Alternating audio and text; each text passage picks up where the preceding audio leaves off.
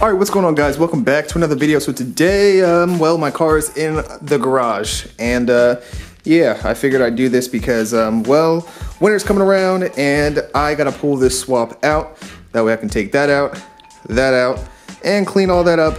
And um, also have to take that out too because when you take that out, you gotta take that out. So, um, so that's what we're gonna be working on uh, in the next couple months. So now I just figured I'd give you guys a little rundown as to why I put it in the garage. Um, number one, well, the car was getting um, water inside there. So this has to come out right here and I'm probably gonna take it somewhere because I tried once and failed. And you know, hey, I can just say I, I tried to do it and it didn't work out and I fixed it somewhat. So that's that. Um, but uh, as far as the engine bay, that's all I'm doing is just deleting some stuff and I want to try to get the car to weigh around like 24, 2,500 pounds uh, before I start adding any carbon fiber.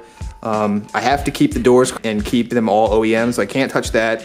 I can delete that, and this is just class restrictions. I can do a carbon fiber hood, but I don't want to spend $600 on a hood uh, because that doesn't make too much sense. ABS, power steering, and uh, brake booster, and uh, that should be, what, about a hundred, maybe close to a hundred pounds. I don't know. I'm not, I'm not sure at all. But um, I'm gonna get the car weighed. I'm probably gonna take this car out of the garage and get it weighed somewhere. Um, not sure where, but somewhere at, at some weigh station because I wanna know what we're making right now as far as weight. Um, and then we'll just go from there and see how far we can shave it off.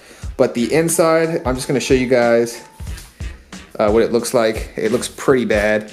Um, I took the carpet out and this is what it looks like.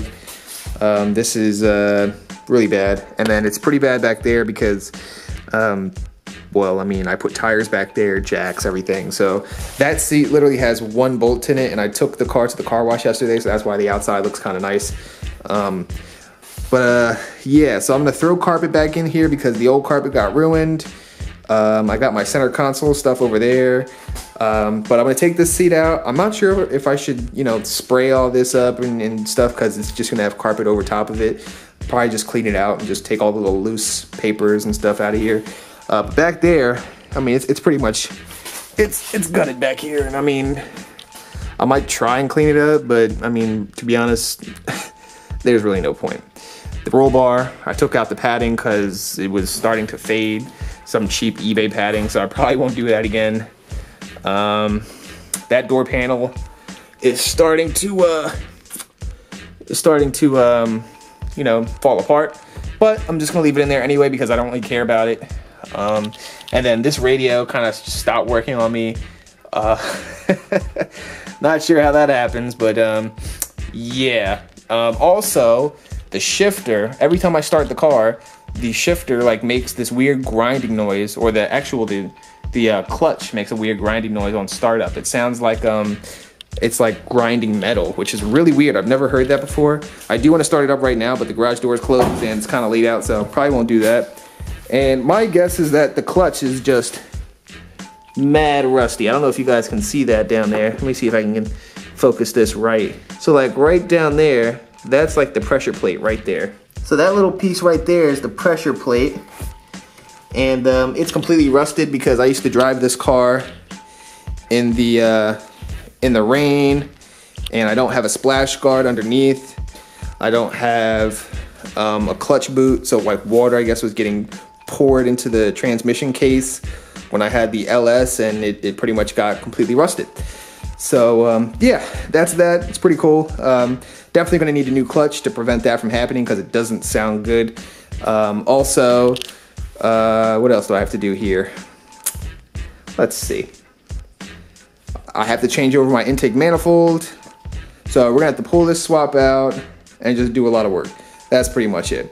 Um, not too much else to say about what's going on. I'm still in the stages of just saving up my money and and um, you know just trying to figure out the best way to approach this. Um, I'm gonna probably rent a engine hoist because I really don't need, you know, a hoist just sitting in here. You know, there's not too much room. Um, it's it's not dirty in here, but like there's like stuff all right here that I, you know.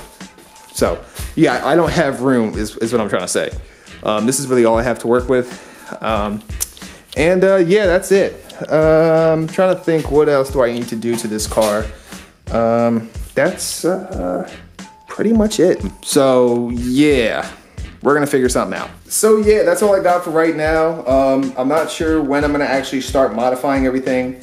Um, once I get a hoist, that's when I'll probably take this out because um, I mean, it, it, has to come out anyway and I'd feel a lot better if it did.